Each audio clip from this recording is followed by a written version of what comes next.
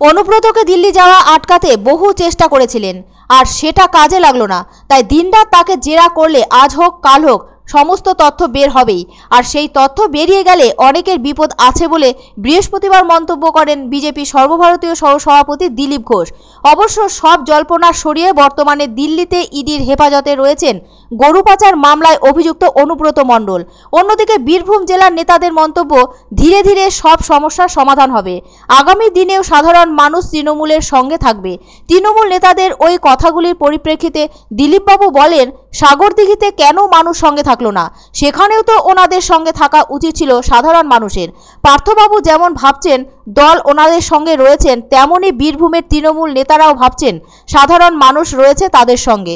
অন্যদিকে সরকারি কর্মচারীরা তাদের দিয়ে দেওয়ার দাবি জানিয়ে আন্দোলন অব্যাহত রেখেছেন এই প্রশ্নের জবাবে দিলীপবাবু বলেন, সরকারি কর্মচারীরা তো তাদের অধিকারের জন্য লড়াই করছেন। তার আনন্দ লগ্নে জন্ম হওয়া বাকিদের তো সেরকমই হতে পারে। আবার সরকারি কর্মচারীরা তো কর্মবিরতির ডাক দিয়েছেন। এ প্রসঙ্গে দিলীপ ঘোষ বলেন, ধমকিয়ে চমকিয়ে তাদের ঐক্য তো ভেঙে ফেলা যায় না। তিনি বলেন, পশ্চিমবঙ্গ তো আন্দোলনের মাটি, এখানে আন্দোলন করে তৃণমূল ক্ষমতায় এসেছে। এখন সরকারি কর্মচারীদের আন্দোলনকে খর্ব করার চেষ্টা করা হচ্ছে, তাই সমস্যা তো বাড়বেই। অন্যদিকে মমতা বন্দ্যোপাধ্যায় বলেছিলেন, আমার ক্ষমতা নেই, আমি আর দিয়ে দিতে পারব না। এই কথার পরিপ্রেক্ষিতে সাংবাদিকদের দিলীপবাবু জানান, সেজন্যই তো সরকারি কর্মচারীদের আন্দোলন অত্যন্ত কঠিন হয়ে উঠছে, আর তা খারাপ দিকে যাচ্ছে।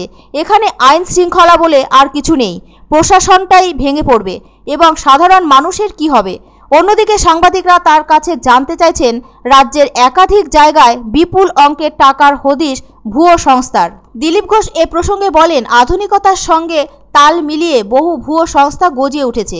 যেভাবে প্রশাসন তৎপর হয়ে উঠেছে, তাতে আগামী দিনে সংস্থাগুলি বন্ধ হয়ে যাওয়ার সম্ভাবনা।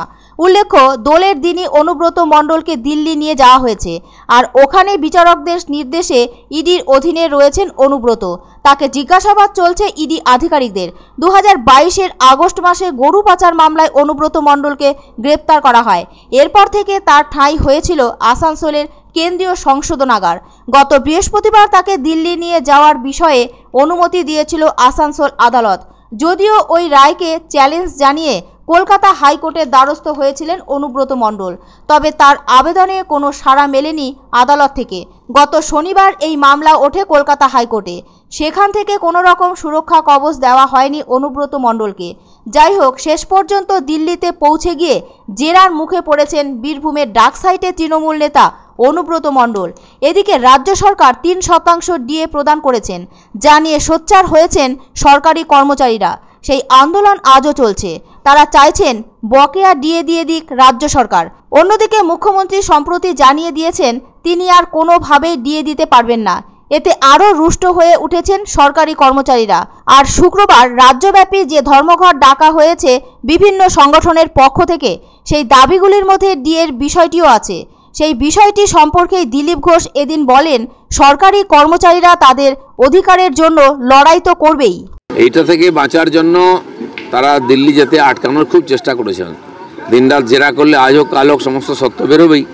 আর সে বেরিয়ে গেলে অনেকের বিপদ আছে, তাই তাকে আটকাবার চেষ্টা হয়েছিল।